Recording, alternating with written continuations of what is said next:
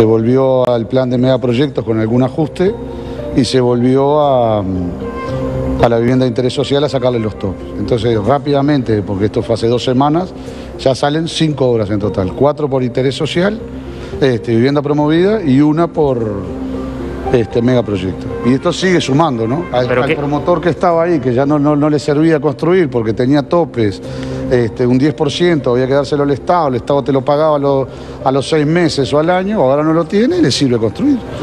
Volvió a servir el negocio. Además, la Asociación de Promotores de la Construcción entregó al presidente de la República, Luis Lacalle Pou, un plan de construcción de vivienda para erradicar los asentamientos.